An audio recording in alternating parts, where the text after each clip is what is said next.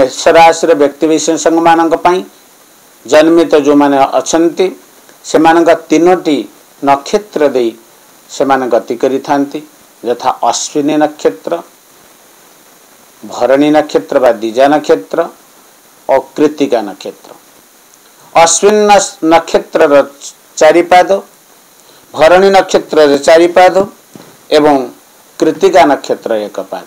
ଏହିପରି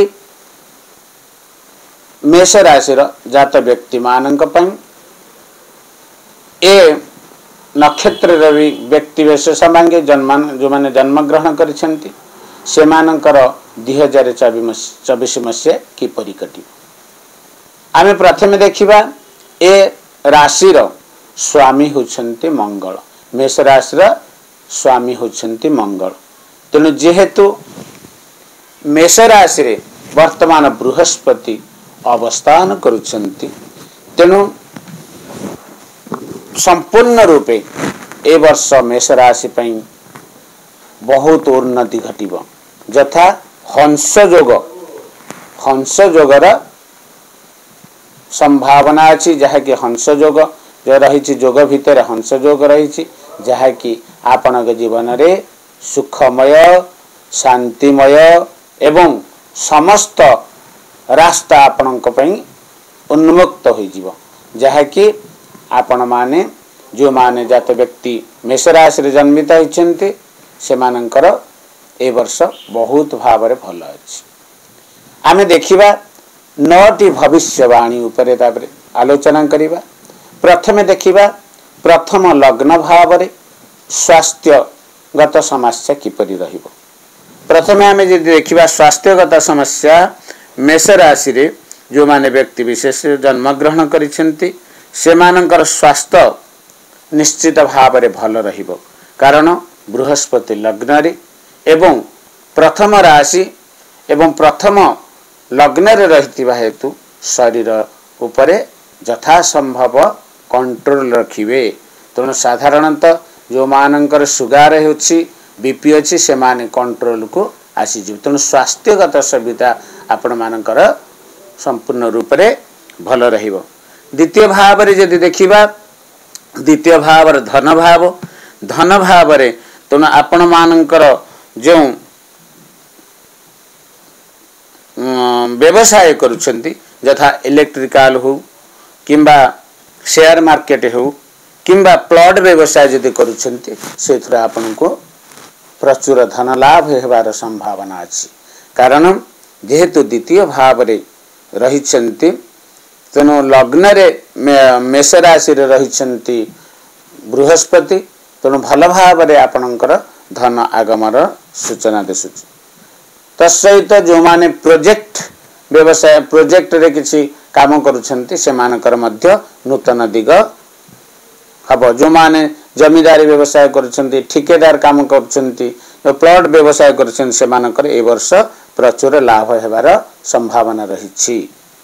ତା ସହିତ ଆପଣଙ୍କର ବୁଦ୍ଧ ଶୁକ୍ର ଯାହାକି ଅଷ୍ଟମ ଭାବରେ ରହିଛନ୍ତି ତେଣୁ ଆପଣଙ୍କୁ ଏକ୍ସଟ୍ରା ଇନକମ୍ ଆପଣ ଯେଉଁ କାର୍ଯ୍ୟ କରୁଛନ୍ତି ତା ସହିତ କିଛି ଏକ୍ସଟ୍ରା ଇନକମ୍ ହେବାର ବହୁତ ସମ୍ଭାବନା ରହିଛି ଏକ୍ସଟ୍ରା ଇନକମ୍ ଏବଂ ତା ସହିତ ଯେଉଁମାନଙ୍କର ଟିକେ ଲକ୍ଷ୍ୟ ରଖିବେ ଯେଉଁମାନଙ୍କର ମେଷରାଶି ବ୍ୟକ୍ତିବିଶେଷ ମାନ ଯେଉଁମାନଙ୍କୁ କିଛି ଧାର କରଜ ଦେଉଛନ୍ତି ଯଥା ଏନ୍ ଅକ୍ଷର ହେଉ ଟି ଅକ୍ଷର ହେଉ କିମ୍ବା ୱାଇ ଅକ୍ଷର ହେଉ ଏମାନଙ୍କୁ ଯଦି କିଛି ଧାର କରଜ କିମ୍ବା କୌଣସି ବାକ୍ୟ ଦେଉଛନ୍ତି ସେମାନଙ୍କ ପ୍ରତି ଟିକେ ସାବଧାନତା ଅବଲମ୍ବନ କରିବେ କାରଣ ଏ ବର୍ଷ ଆପଣଙ୍କର ଯେଉଁ ଯଦି ସେୟାର ମାର୍କେଟ ହେଉ କିମ୍ବା କୌଣସି କାର୍ଯ୍ୟରେ ଯଦି ପଇସା ଲଗାଉଛନ୍ତି ତେଣୁ ଭାବି ଚିନ୍ତିକି ଲଗାନ୍ତୁ ଏଇ ବ୍ୟକ୍ତି ବିଶେଷଙ୍କ ଠାରୁ ଟିକେ ବିଶେଷ ଭାବରେ ପରାମର୍ଶ ନେଇ ଆପଣମାନେ ବୃଦ୍ଧା ଲୋକ ହେଉ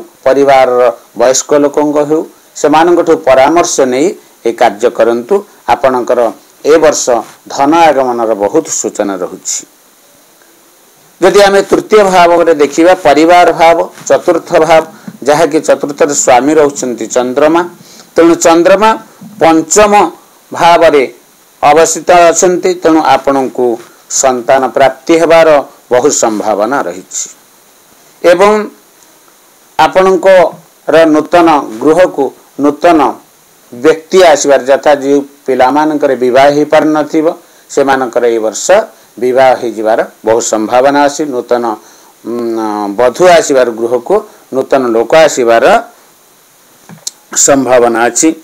ତେଣୁ ପଞ୍ଚମ ଭାବରେ ଦେଖିବା ଯଦି ବିଦ୍ୟା କ୍ଷେତ୍ର କ୍ୟାରିୟର ଭାବରେ ତେଣୁ ପିଲାମାନେ ଯେଉଁମାନେ ଶିକ୍ଷା କରୁଛନ୍ତି ସେମାନଙ୍କ ପାଇଁ ଏ ବର୍ଷ ପିଲାମାନଙ୍କ ପାଇଁ ଅଧିକ ଖର୍ଚ୍ଚା ହୋଇପାରନ୍ତି ସେମାନଙ୍କ ପାଇଁ ଅଧିକ ମାନେ ଅଧିକ ସମୟ ଦେବାକୁ ପଡ଼ିବ ସେମାନଙ୍କୁ ଏକ୍ସଟ୍ରା ଟ୍ୟୁସନ୍ ଦେବାକୁ ପଡ଼ିବ ଯାହାକି ମେଷ ରାଶିର ଯେଉଁ ବ୍ୟକ୍ତିବିଶେଷଙ୍କର ପିଲାମାନେ ରହିଛନ୍ତି ସେମାନଙ୍କୁ ତାଙ୍କୁ ଜାଗ୍ରତ ଭାବରେ ତାଙ୍କୁ ଦେଖିବାକୁ ପଡ଼ିବ କାରଣ ତାଙ୍କ ପାଇଁ ଆପଣ ବହୁତ ଖର୍ଚ୍ଚ କରିବାର ସମ୍ଭାବନା ମଧ୍ୟ ରହିଛି।